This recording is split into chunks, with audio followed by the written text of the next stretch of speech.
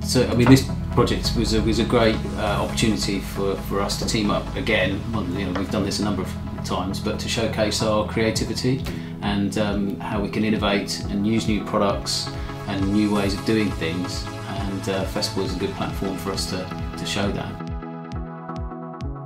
Yeah, I mean, uh, as a board, I guess it's a, a sustainable, sustainable board in that um, it's effectively cardboard engineered, so it's very biodegradable, and I think that's becoming more of a, of a focal point for um, for clients when they're when they're investing in, in throwaway um, visual point of sale.